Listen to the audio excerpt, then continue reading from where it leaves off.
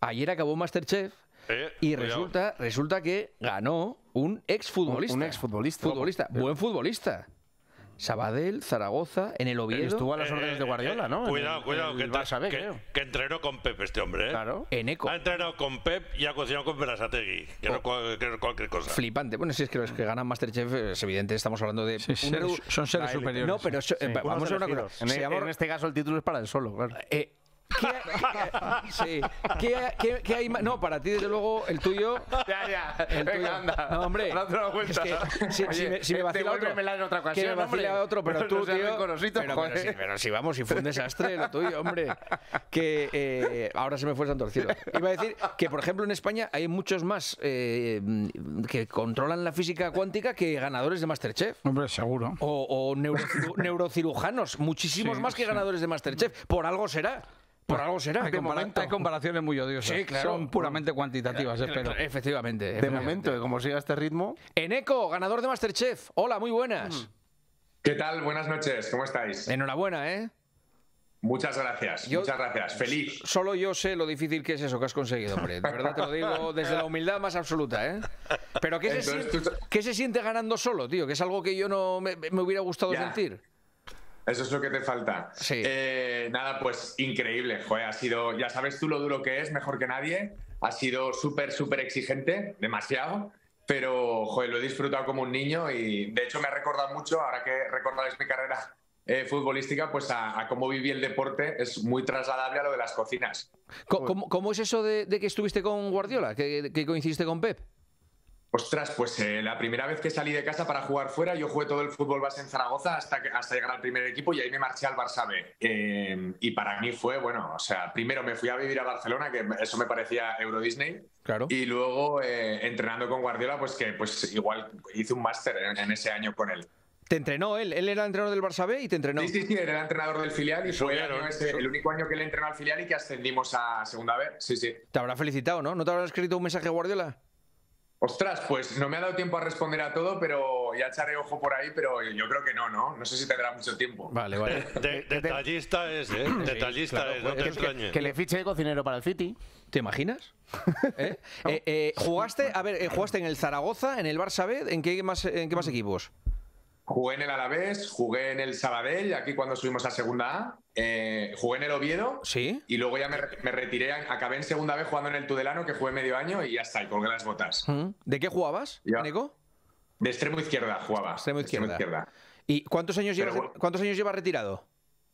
Pues acabo de cumplir ahora 39 y me retiré a los 31. Llevaba, llevaba mucha tralla en las rodillas, muchas operaciones, cinco operaciones graves de ligamento cruzado, de meniscos y tal, y a los 31 ya tuve que parar porque ya no, no había solución. ¿Y, y cocinabas eh, mm, siempre? Ostras, cocinaba, cocinaba, pero hacía más cocina de- del día a día. Lo que pasa Claro. es que, ya sabéis que aquí a los futbolistas nos gusta mucho ir a comer y a cenar por ahí, ¿no? Eh. Entonces me gustaba comer bien. Y en el momento que empecé a tener niñas y tal, que tengo dos niñas y otra en camino, eh, ya no podía salir tanto a cenar fuera y empecé a hacérmelo en casa. Entonces ahí fue cuando le empecé a pillar el gusanillo este a la cocina, ¿sabes? Mm, Sí, sí. Eh, eh, bueno, has ganado la final. que- creo que ha sido Sí. una final, no la he podido ver, eh, te la tengo pendiente, la voy a ver esta semana. Creo que ha sido súper igualada. O sea, que, que- que ganaste por los pelos, ¿no? Muy, muy igualada. Y si puedes, póntela que te gustará, que es muy emocionante, ya verás. Eh, la hice contra Alex, contra el chaval jovencito, no sé si te acordarás que viniste Sí. de, de invitado este año. Sí. Eh, y fue, fue bonito también porque nosotros somos muy amigos y lo hemos podido vivir también con mucha deportividad y eso al final. Qué bien, qué bien. ¿Me, me puedes decir el menú que diste en la final? Pues mira, hice un tartar de carabinero con una sopa laxa y unos shots de cilantro. Luego hice un pichón en dos cocciones con un mil hojas del pate de sus interiores. Y luego de postre hice un bizcocho de temacha con un helado de chocolate blanco y pimienta de Jamaica. Joder. ¿Qué te parece? Me parece, tío, mucho nivel. Lo, lo que me hago yo para cenar, claro. Lo, de, lo de los carabineros es lo tuyo, Juanma. Sí, pero con Sí, lentejas. sí. Yo los hago con lentejas que, que- que cambia un poco la cosa. Juanma también es muy de pichón, ¿eh? Sí, y el, bueno, el pichón me encanta. Ya, ya. Sí. eh, no, yo hice eh, presa ibérica, me parece. En, en la final hice presa, ¿no? De, de carne, me parece que era presa o. Sí, presa ibérica. Sí, presa ibérica, Sí, presa ibérica, sí, sí. Eh, ya casi no me acuerdo, tío, del menú de la, de la final. Yo es que y- me obsesioné tanto con el postre que el primero y el segundo casi no, no, no lo recuerdo. ¿Decías? No, digo que igual que Juanma ha encontrado aquí una salida en la radio, ¿tú qué vas a hacer a partir de ahora, Neko? Ostras, pues ahora, de- ahora de momento me tengo que ir a San Sebastián seis meses, al Basque Culinary Center, eh, y luego tengo un mes que voy a pasar con Jordi en el ABAC, que gané una de las pruebas de pasar un mes ahí trabajando con él, Ostras. y lo voy a tener de jefe, ¿qué te parece? Y una, eh, o sea, que te vas a dedicar profesionalmente a la cocina. sí, sí, sí, sin duda, sin duda, sí, sí, sí.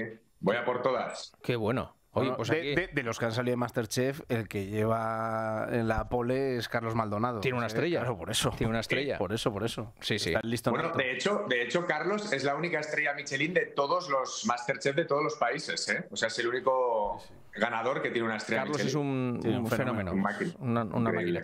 Oye, Neko, pues de verdad que simplemente queríamos darte la enhorabuena. Muchas gracias. Me gusta cómo fusiona el deporte y Masterchef, ¿eh? O sea, cada vez son más los inputs. Saúl Cravioto, Ona Carbonell, eh, tú, o sea, los deportistas, está claro que Gonzalo. tenéis. eh, ¿Gonzalo? ¿Gonzalo? Deportistas Deportistas, por favor. Hablo de deportistas. Eh, eh, tenéis un gen especial para, para competir en esas. Y lo digo en serio, ¿eh? Para competir en bajo, bajo presión. Eh. Perico Delgado. Sí, sí, sí. Perico Delgado, bueno, pero no, no- Perico Delgado no quiso No, competir. por- porque no pudo Pero- montar en bici. Si pero- lo hace en bici, gana. Pero fíjate, yo lo que sí he notado, que no sé si lo notarías tú también, Juanma, es que eh, los deportistas profesionales en este tipo de pruebas mantienen muchísimo la calma. O sea, consiguen una claro. concentración que el resto de participantes no suelen tener. Claro, claro.